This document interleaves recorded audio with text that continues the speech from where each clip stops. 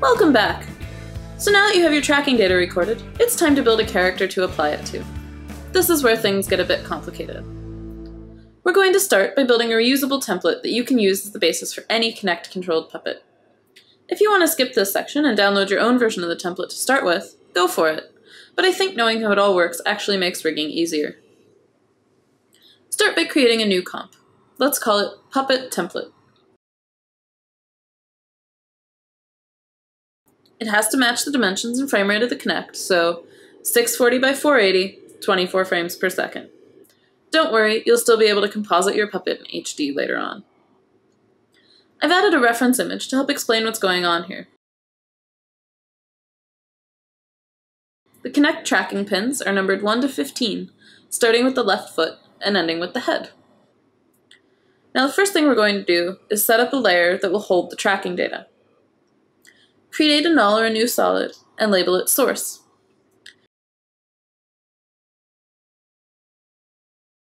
This also needs to be 640 by 480, so resize it.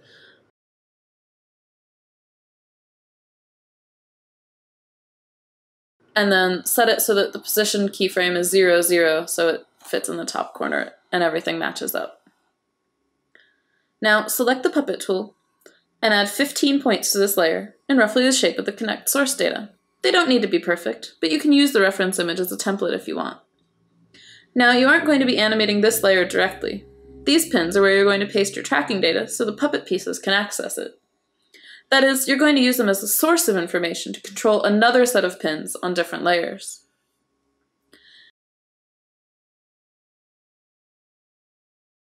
It's good to have a sample track to test your rig with. To add your mocap data, open up its text file,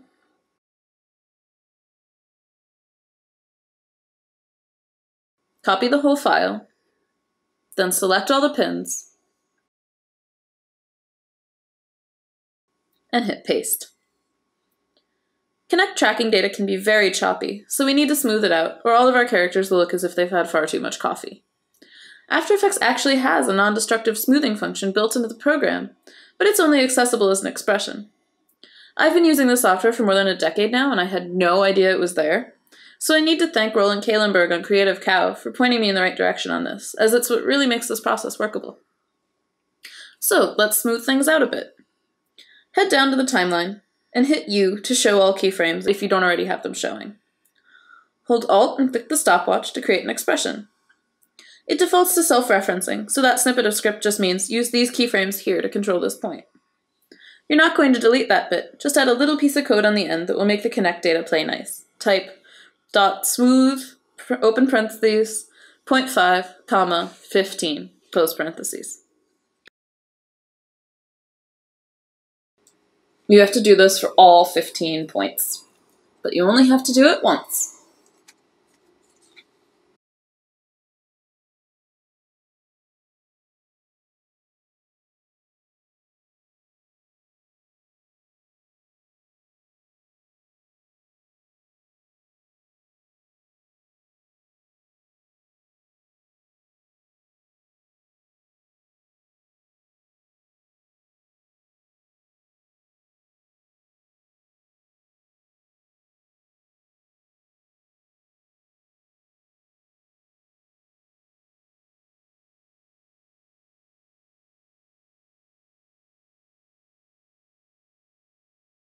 You can take a look at the smoothed out path by clicking Show Post Expression Graph, then switching to the graph editor. You can really see the difference it makes. The smooth method works by averaging out the motion over time. The first number is the amount of time averaged. 0.5 means half a second, and the second value is the number of samples over that time. Make sure it's an odd number so that the frame you're looking at gets factored in. The bigger the number, the smoother the motion, but it may slow down your machine, and if you average things too much, you'll start to get into creepy mocap jello territory. I find 0.5 and 15 work pretty well for me, but you can adjust the numbers to suit your own designs. Now, sometimes the data comes in with left and right inverted. The next thing we're going to build gives us a quick method of flipping the point sources, so that when that happens, you just have to check a box instead of rewriting all your expressions. Create a new layer, and call it invert pins. Add a checkbox expression control. That's effect, expression controls, checkbox control. You can rename that if you want. I'm calling mine invert pins. We're going to write conditional expressions that refer to it. If it's checked, they'll get the tracking data from one side, and if it's unchecked, they'll get it from the other. The next step is to create the control layers for the different body parts.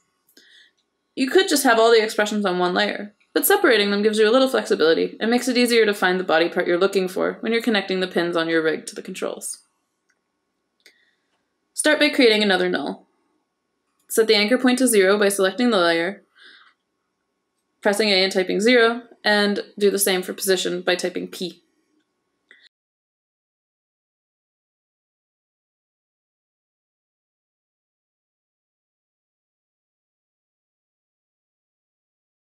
Make sure it's 640 by 480.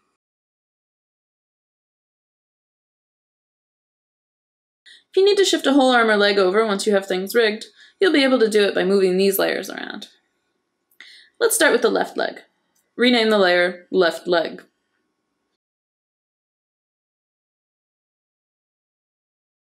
Now create an expression point control, effect, expression controls, point control, and call it left ankle.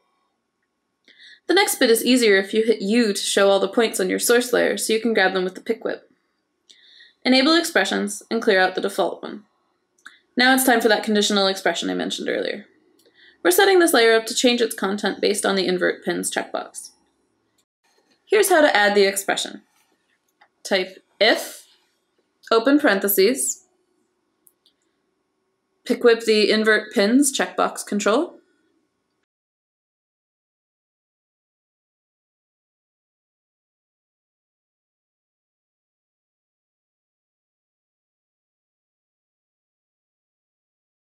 equals equals false, close parentheses. Do an open curly bracket, type from world. Now pick whip the position of the first pin, which is the left ankle, and that's going to convert its coordinates to world layer space.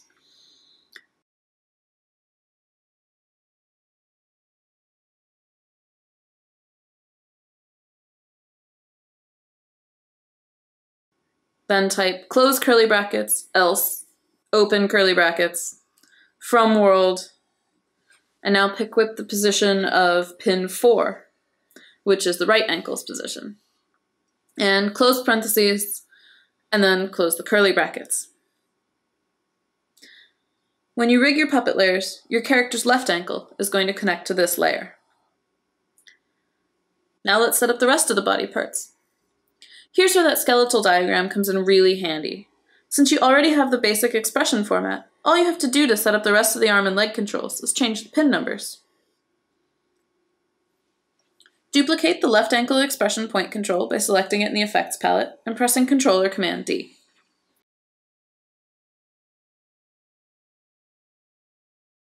Rename it left knee.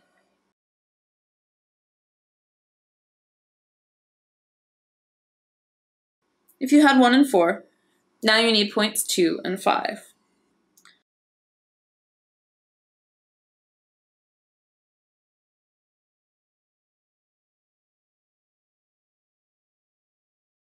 Do that again for left hip.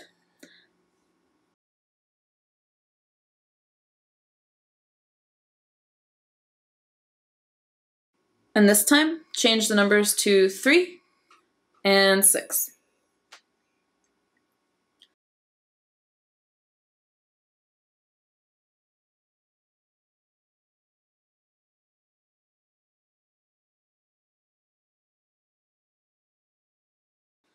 Then, duplicate the whole left leg layer and rename it right leg.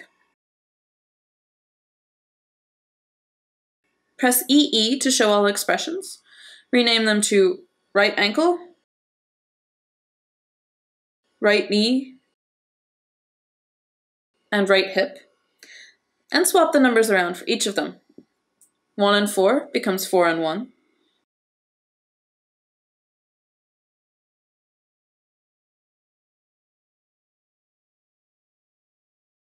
2 and 5 becomes 5 and 2.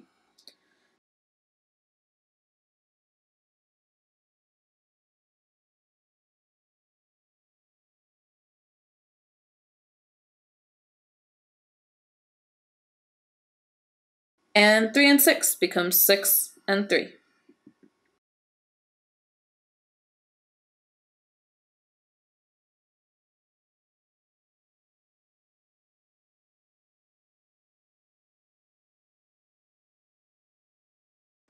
That's both legs set up. Now it's time for the arms. Duplicate the left leg layer again, and this time call it left arm. Rename the controls to left wrist,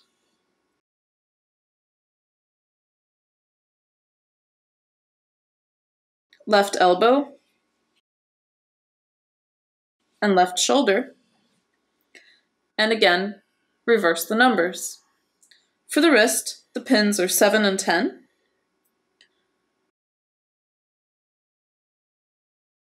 For the elbow, 8 and 11.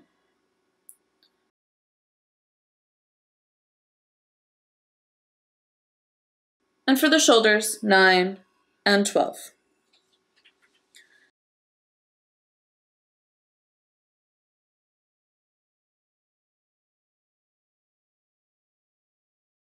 Duplicate the left arm layer and rename it to right arm.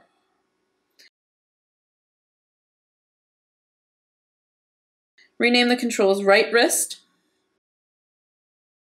right elbow,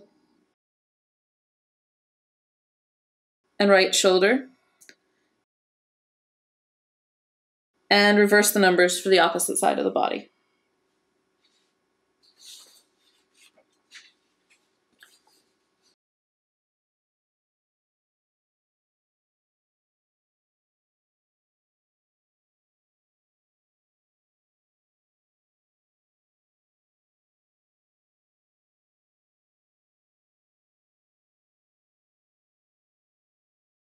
So now you have all four limbs.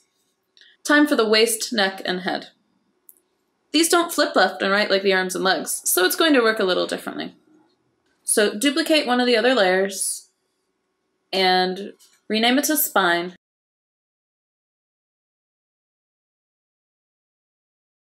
And this time, just delete the point controls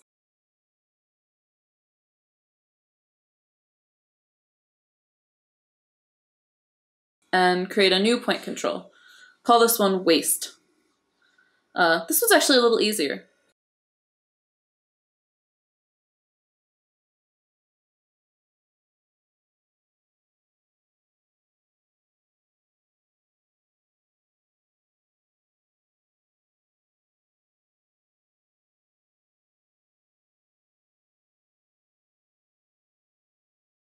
Type from world and then pick, pick whip the position of pin 13. That's the waist. And then type the close parentheses. All this does is grab the waist point's location and change the numbers to coordinates other layers can understand. Next, duplicate the waist point control, rename it neck,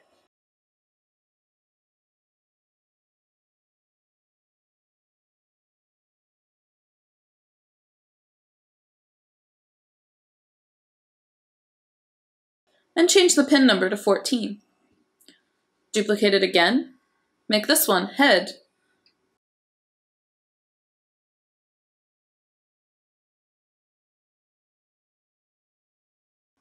and change 14 to 15.